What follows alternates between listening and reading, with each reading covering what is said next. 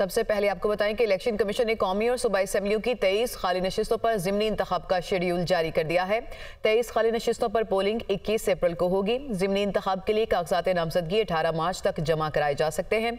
ज़मनी इंतब के लिए उम्मीदवारों की स्क्रूटनी इक्कीस मार्च तक होगी। कौमी असम्बली की छः पंजाब असम्बली की बारह नशस्तों पर ज़मनी इंतबात होंगे। खैबर पख्तूखा बलोचिस्तान असम्बली की दो दो और सिंध असम्बली की एक नशस्त पर ज़मनी इंतब होगा।